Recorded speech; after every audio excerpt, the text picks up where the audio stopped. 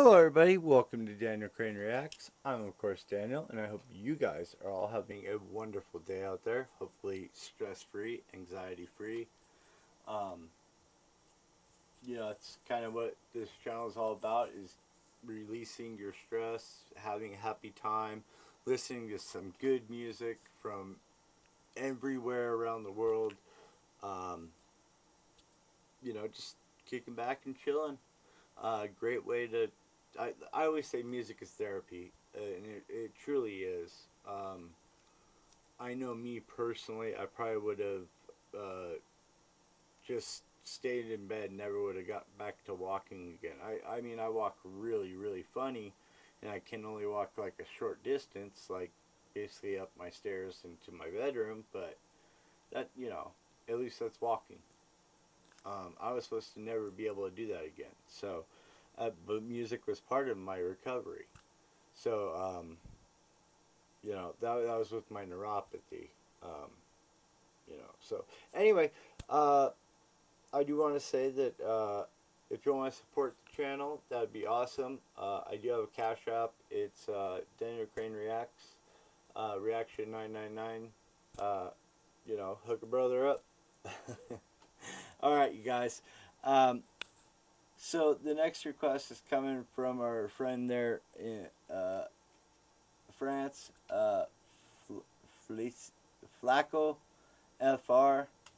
Uh, and the song is coming from the band Arkaea. We remember we did this one uh, band yesterday, Lucid Dream. So let's we're gonna do this one. It's Locust.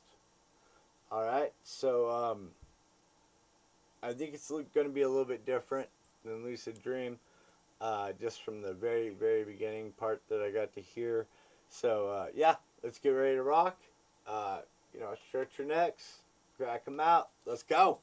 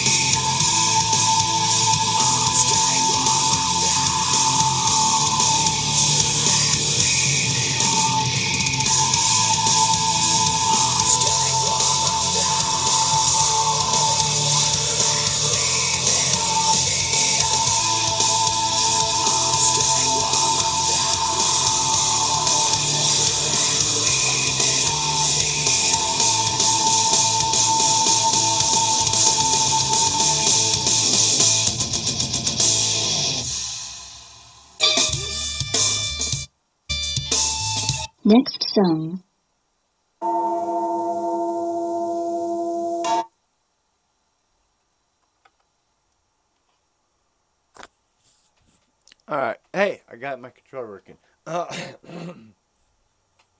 um, all right. So, first of all, I just want to say it kind of brought back like some old school Anthrax vibes to me. Uh, I don't know if you you know who Anthrax is, but uh, that's what I got off of it right off the bat. Um,